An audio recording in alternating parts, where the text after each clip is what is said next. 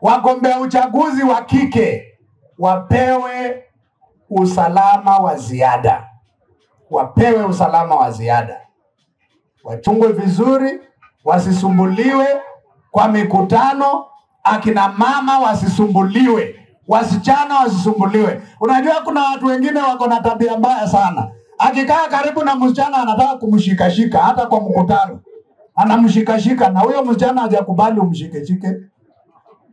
Hiyo ni tabia mbaya. Wengine wakiona mama ashaongea ni mwanasiasa wana, wana press wana, wana, wanamfinyilia wanamfinyilia pale. Hiyo ni mbaya, hiyo hatutaki. Kwa hivyo wagombezi wote wapewe usalama wa kutosha, lakini wagombezi akina mama wapewe usalama wa ziada.